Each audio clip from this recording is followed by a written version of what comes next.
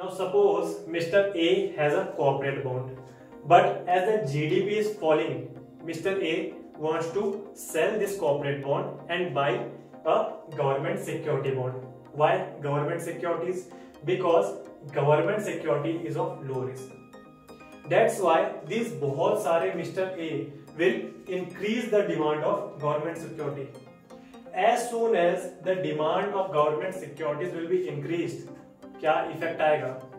The prices of government security will be increase and as soon as government security prices will be increase we will see a fall in bond yield